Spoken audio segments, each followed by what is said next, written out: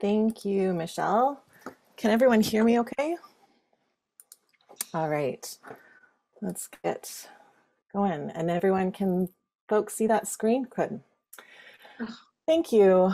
I am grateful to be with you folks today. I'm especially grateful to be um, to be on the unceded and occupied territories of the Musqueam, Squamish, and Tsleil-Waututh nations. In the spirit of practicing a more connected way of being, from my back window here, I can see the North Shore Mountains. I'm a few blocks away from where my parents met and grew up. Both my family um, are settlers coming from one side from Iceland, the other from Scotland, coming from home, coming to Canada to find home in the late 1800s. And today, this morning, I'm zooming from my laundry room, which is also my office, um, where I share home with my husband and two kids and three housemates. I'll start with a story. 20 years ago, at a local neighborhood meeting, a mental health advocacy group asked local churches what they were doing for um, the increasing number of homeless people in the neighborhood. And at that time, this blue church with the red door wasn't doing very much. After a meet, after that meeting, a few members of the church formed Salsbury Community Society, and they began to operate three community houses in the neighborhood. The idea was to bring a diverse group of people together and figure out how to share life. And in those early days, a lot of lessons were learned, like sharing kitchens and bathrooms with your own family is, is tough, but doing it with strangers or people that were coming on temporary stays was even more difficult. Gentrification moved into the neighborhood, and as it had been for many years, and more and more people were needing housing. And Salsbury was really compelled to think more than just a few houses. And as we began to look to purchase a, an apartment building, um, we really kind of envisioned the benefit of having affordable integrated housing that was situated within a supportive community, people from different backgrounds in the same building, kind of live and grow, grow together to use Patty's term earlier this morning, we were dreaming of kind of a mixed tenure with supportive services kind of model. And we got a lot of feedback at the time from those who wanted to live in that building. And they wanted to have lots of light and they wanted to have their own unit, their own kitchen and bathroom, a lock on their door, and plenty of shared space too. But as land prices skyrocketed and the dream of finding an already established apartment building began to fade, the group began looking at the church's parking lot and community garden. Soon the Cohere Foundation was formed. The church gifted the land to the Cohere Foundation.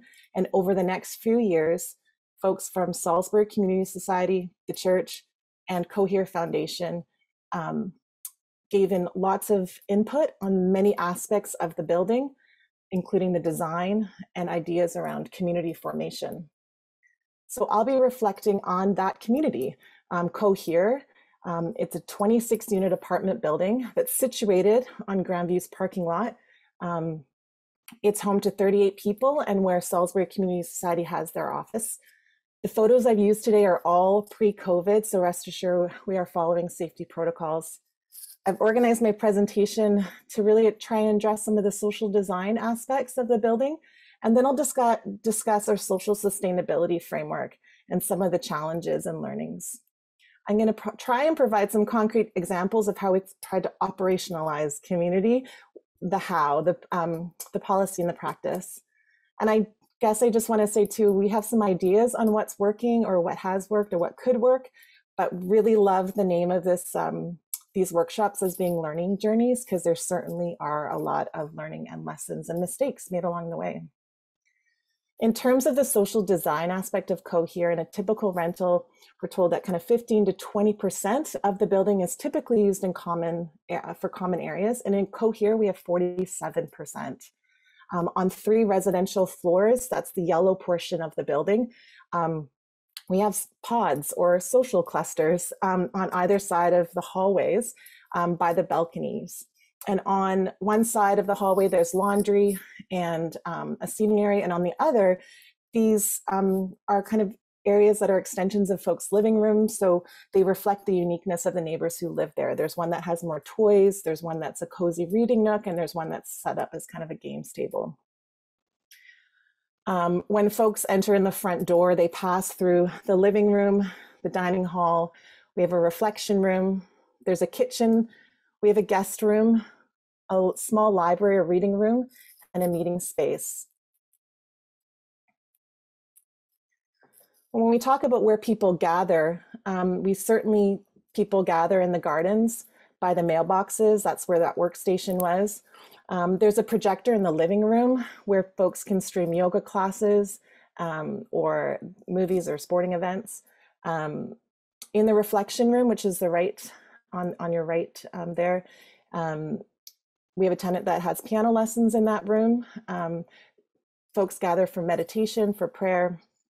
People study and knit in that space or just read. And these are common areas, they're extensions of tenants' homes. It's been really important that we've created systems um, to empower people to use those spaces. So Google Calendar is one way that tenants can book spaces and host groups. The guest suite is really well used and mostly managed by tenants themselves, where they can invite a family or friend to stay by donation. A stroke recovery group meets regularly on the main floor, um, a girl guide group, and this year we hope to welcome an AA group as well as a single mom support group. All of these um, groups are hosted by a tenant or two, and if it's during office hours, Salsbury will take on some of the hosting duties.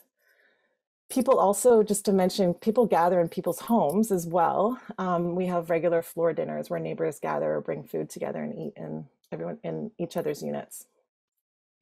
But to be clear, building community space doesn't necessarily mean that community will follow. This isn't kind of a Kevin Costner Fields of Dream thing. You know, having shared space is certainly the first step in creating community opportunities, but figuring out who gets to make decisions about those spaces, um, who cleans up afterwards, who rents the room, who does the hosting, you know, that's when people start kind of glazing over, walking, backing up, and just kind of referring to management. Um, co-creating community is really slow and it's iterative work. It takes intentional acts of nurturing neighborliness and um, amongst a particular group of people, right, in a, in a particular home. When we envision the community life at Cohere, it really looks like friendships growing, less about hiring people whose job it is just to care about community and more about nurturing an environment where neighbors are really encouraged to support neighbors. Having a social sustainability framework has impacted many aspects of our work. It includes the invitation, so the, the housing application, how we invite people into the housing, how we manage those common spaces and how we share those common spaces, as well as how we coach and equip tenants.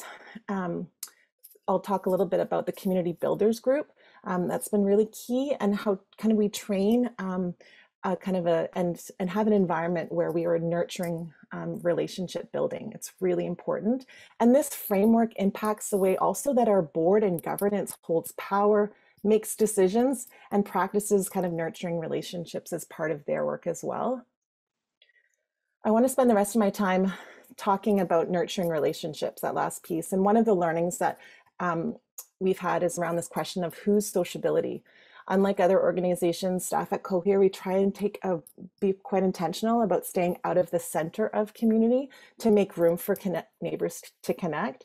So we've been focusing on how we can support neighborliness through our community builders group. And this group consists of two tenants from each residential floor and a staff person. They meet regularly to make decisions about um, well, that impact the community with an emphasis on training and equipping community members with the tools to be good neighbors. The Community Builders Group at Cohere plays a really important role in providing the relational foundation for setting community norms and responding to conflicts. The CBG um, was, that's the Community Builders Group, was established in the first year of Cohere's operating.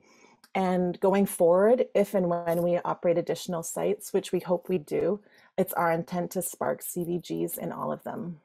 You know, when COVID hit, this group really went into overdrive with meal trains, prescription pickups, grocery runs, checking in on neighbors, safety protocols, and even like creating some really great signage for folks. As staff don't live in the building, um, it's been really important that we see our, ourselves as helping set a table, doing some backroom prep, but this and, and support with some resources. But the actual feasting, the actual neighboring, the primary relationship is between neighbors. And how this gets played out is having a really clear terms of reference for the CBG. That's the How Do We Work Together document. It's about our consensus decision making um, frameworks as well as staff understanding what their job is and what they're not. And we talk a lot about boundaries and about and revising our job descriptions regularly. Another learning uh, has been when housing people who have had substandard housing for a long time or experienced generational trauma, you know, this bar of what safety means is really hard to nail down. We have fire safety plans and first aid kits, but do staff and neighbors know how to listen to someone who feels psychologically unsafe? We kind of we like this idea of co-creating brave housing versus safe housing at co at Cohere. Brave housing really does look like having those safety plans and also staying in awkward conversations um, with people about how your actions maybe have impacted them. Operating housing where people can feel safe to be known is a really long game strategy. And um, if people don't feel comfortable being who they are in our housing, they likely won't stay. So in terms of the operations, how this gets played out, it's having those um, those safety plans and those policies on protecting tenants, but also um, having training on how to have hard conversations, We've had workshops on toxic masculinity, conflict resolution framework, and having and hiring um, staff that have skills in these areas. Because living in a more connected community can get really messy. You know, hands get dirty, feelings inevitably get hurt. As operators, I think we have a really particular role to play in supporting our tenants flourishing through brave housing that deepens connections between neighbors, as well as centering the voices of those who live there knowing that nurturing neighborliness and building connections takes time and intentionality, as well as policies and practices that reflect shared values and norms. We often say, like, we can't scale relationships. What works in one relationship won't necessarily work in all relationships. They really do need to be made one at a time but housing operators with tenants can establish norms. So those norms are rituals, they're practices, they're routines. Um, they really do lay a foundation on how relationships can deepen. I think I'll leave it there. Thanks so much for um, letting me share with you. Thank you so much, Jeanette. Um, that was uh, an incredible presentation. I wrote down uh, all sorts of quotes that were I thought were quite quite profound. Um, let's launch right into some people's questions because I know we're a little behind on the agenda and I, I, I, don't know if we'll get the full time we had in the last session for questions. So uh, from Moira, is it a requirement to participate in the community group? What happens if someone doesn't want to join? Great question. Um, when we screen people to do interviews for housing spots, so when we invite people into the neighbor um, into the community, we ask what kinds of things they like to do and how they want to be involved. It's not mandatory, but the community builders group, um, we try and have it be a reflection of the community. So it's quite a diverse group, people from different income levels, and we kind of ha have been over the years, kind of, you know. Uh, noticing when we can um, draw in someone's expertise in that group. But there's lots of ways to participate in the in the community. Um, the community builders group is just one committee. We love committees that go here. We have many committees. You're, uh, you're, it's really kind of a co-housing model, really, where people buy into this notion from from the get-go, and then there are consensus building mechanisms. Um, I see your hand up, but I'm going to quickly take one more question in the chat. Um, from Leanne. Did I miss it or did you mention if there are criteria that folks need to need to meet to live in the building? So I'm yeah. assuming this is this is maybe about income, but possibly other things too, like that desire yeah. to be in community. Great question. No, I didn't. You didn't miss anything. I didn't talk about that. We ask for people to have either a physical or relational relationship to the Grandview Woodlands neighborhood. Um, so it's really important that they have already some established networks of care um, in the in the neighborhood. That's been really important to us. Um, we have a certain income mix, and so um, we have people on income assistance and people who are high earners in the building. Um, and so it's if we have a unit that's available, we try and um, replace them, you know, fill that unit with a person that's on a similar income level um, other than being able to like make your own decisions around your health care and your own personal um, decision making ability like that's um, we're not a supported housing environment. We don't have 24 hour staff with professional services. So those are kind of the main things in terms of what people this the um, criteria. Right. And maybe to be clear for people who are um, uh, less familiar with your model, your mix of incomes isn't about um, isn't about the pro forma that you had and cross subsidization. It's actually an intentional community that you want to have people from, in some cases, quite quite significantly different incomes. Agreed. In your building, Yeah. is that is that that's correct? That's a that's a great yeah, Yeah. way of describing it. yeah. Yeah. Okay. Um, Gazal, you have your hand up. Uh, thank you, Janet. It was a great presentation. My, my question is more about how do you keep this model uh, financially viable? Because keeping maintaining and also developing the shared spaces requires capacity. And I'm wondering how do you keep that balance so that it fits to the affordability of this model? Yeah. So um, I'd be naive to say that, like, you know, I just want to say we're only five, four years of operating. So, um, and we've done, we've we've been able to um, balance our budgets every year. Um, the big part of that is what Michelle discussed. Um, is this is this mixed um, income piece, and so we have higher earners in our building that pay more um, that offset those rents that are lower or below market, low end market, and so our baseline kind of um, operating budget um, covers all of our operating costs. Um, we do do some um, small fundraising, um, but the hope is that the project will be fully sustainable, and we're on kind of track to do that, or at least close to. And is the fact that you had land donated um, by the church is that a? I'm I'm assuming that's a fundamental reason you were able to get to like 47% of your space being common areas because that is so high above the norm. Yeah, it is, and um, Yeah. you know, we talk about challenges and learnings. You know, I think we probably could manage to have a little less, maybe Right. 40, s- right? Because Yeah. it's a lot of space to share with a small group of people. Um, uh, yeah, Okay, great. I I just also want to highlight that um, Rebecca Pousset is here and she uh, works at the Cohere Foundation. And so she has some of the, I don't know if um, Rebecca, is anything that we, that I've shared just around the financial piece that you want to clarify, or do you think that's clear for folks? Um, just to say, we actually don't have a mortgage. Um, so one of the um, the church, uh, i as part of donating the land, um, they were very committed to us um, not fundraising all the money in advance of the project, um, and so we don't actually have to pay off the mortgage, which is massive. Um, yeah, that's all I'll add right now. An important piece.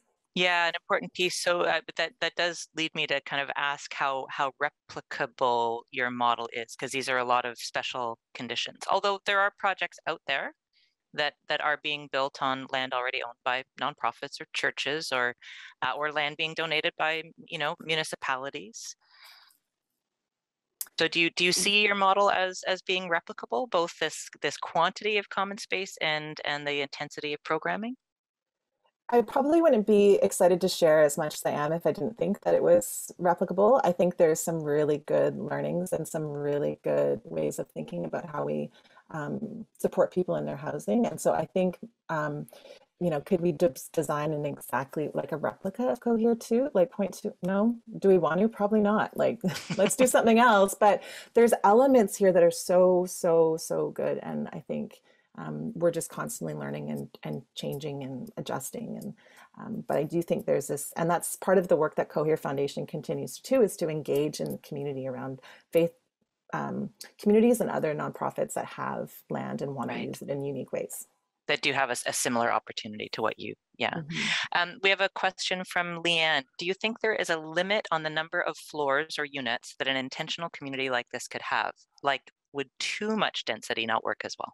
totally yeah yeah i think there's a sweet spot i think we um um yeah i haven't done like a huge amount of thinking on what exact ratio we'd want but i think you wouldn't like let you know 50 to 75 people with our staffing levels we could probably handle so one or two more floors but we were we were really constrained by lots of constraints that we couldn't go higher Right. um, but yeah, I think you could do. Um, I, I think you can get to a critical place where you just you can't have just one tenant support worker supporting Yeah. 200 people, right? Like you really need to Yeah. have some infrastructure built in there, and so um, yeah, I think we could have another floor.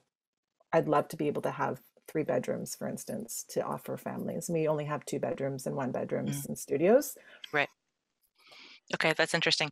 And you also have community builders per floor, right? So I guess that would be another factor if you go to a, a, a larger building is just kind of keeping that Yeah. that kind of granular champion model. And again, I think that has a lot to do with how we invite, market, um, and communicate about our housing, what people can expect when they Right. apply to our building. Okay, great. Um, question from Maura. What does your feedback loop look like? How do you know what's working well? Such a good question. Yeah, we've had a developing evaluation framework that um, we're hoping to roll out a new one um, this year. But in the past, we've done these things called reflection conversations. So I sit down with staff and with tenants, so one staff and a couple of tenants, and we just have a really close listening time of like what their experience is. Um, we also do 360 feedback for all of our performance reviews, and we invite tenants to give us feedback on how we've communicated with them. Um, this has been really key in terms of our learning, especially around some of the power dynamics amongst um, tenants and staff. hmm Yeah, Maura, I think in your presentation, for those who are listening to it, you you kind of brought up the notion of vulnerability, right? And I think that is that can be scary for landlords and property managers, kind of opening that that Pandora's box.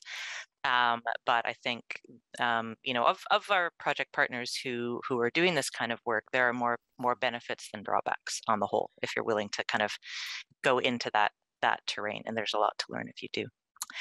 Um, any other questions or hands up? I mean, I can come up with all sorts of questions, but I, I- know we've got just- lots of smart people here. Okay, Jeanette. On, I'm just going to riff on that idea because I think it's a great one. I loved what Maura said about vulnerability, and I think it is scary. But you know what also is scary is living in a building where no one trusts each, other, and there's acrimony between building managers and Yeah. tenants, and a real power differential. And quite frankly, it's I think it's just more about people not necessarily having skills or hiring. Um, vision holders if you will around some of the the soft and not, i don't even want to call it soft skill but it's like how do we relate well? How do we talk about our wobbly bits in front of each other and just get into it a bit and have those conversations? I think that will actually change some dynamics that need to really be um and you know interrogated. And i think walking in buildings where there isn't any trust that's that's scary. Walking in a building that has vulnerable leadership You That's a talked little bit about you talked about um, how the community builders group really ramped up during COVID. Do you do you also find that from kind of a practical standpoint, um, having people, uh, neighbors knowing each other, supporting each other, kind of active in conversation with you, that it that it relieves you sometimes of um, of, of work during a crisis? Yeah, I think we have less calls to emergency services. I think we have less um, blow ups. I think we can understand when people, we have a number of people that are um, newly in their recovery or having dealing with active mental health stuff. So having neighbors that's not just staff, it's like neighbors that can accompany people through things. It's not everyone, but it's one or two people that they can rely on. Um, I think it's it's been really important for us. Mhm. Okay. Um, we've heard from uh, in some conversations uh, about uh, building managers finding, and this is particularly in a seniors context, finding they get um, they get calls to come in and, and help with something in the suite. Um, and what they realize very quickly is there's nothing really that that person needs help with. They they just needed to talk to somebody. That there's some Yeah. loneliness there, and so you know It's I a- think I it's think a big part of how we hire. is that if Mhm. people know each other, there's that's that's not an, an everyday ask of building managers when they've got so many other things.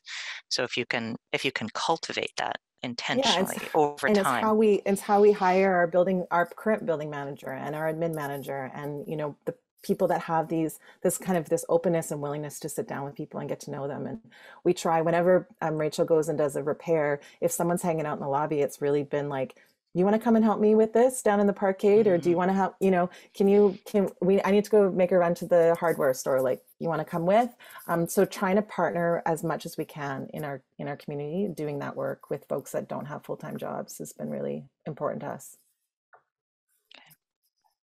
great. I really liked your your uh, your your slide, the Field of Dreams slide, right? Because uh, we do talk about that. Those those spaces are really important, and if you don't have them, it's it's it's hard to build yeah. community.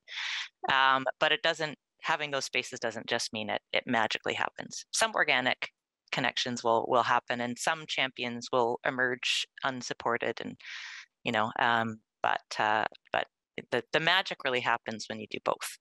You know, create okay. good spaces and actually, you know, program them um, not just for tenants but with tenants. Yeah.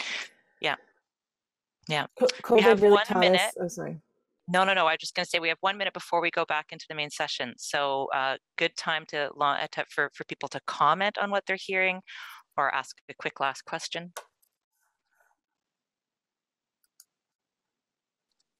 And if not, Jeanette, just feel Thanks, free everyone. to riff on whatever well, whatever you're thinking. It's all good. Thanks for. Uh, that was okay. just a really beautiful storytelling and setting. I wanted to say. Yeah. Really with like. Hey, thanks, Megan. Yeah. I'm just going to read this out. Uh, Rebecca says to respond to the question about replicability, especially in regards to financially. In addition to funding from BC Housing and CMHC, we had significant financial support from organizations that don't normally fund housing, but we're really excited to fund our sociability slash community vision. So th thanks for that, that detail, Rebecca. I think that that matters, right? Because this this issue of funding the programming is really thorny with everybody that we talk to. And so having those non-housing funders that understand the value of that and what it can deliver to a community over time